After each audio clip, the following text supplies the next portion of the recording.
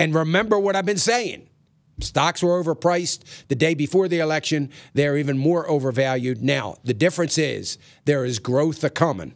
And knowing that growth is coming uh, may be enough to avoid or to postpone or to put aside any kind of uh, correction in the markets. I'm not saying it's not going to happen. I'm just saying there could be a driving force of, of traders that are saying, look, we don't care that they're overvalued because growth is going to catch up.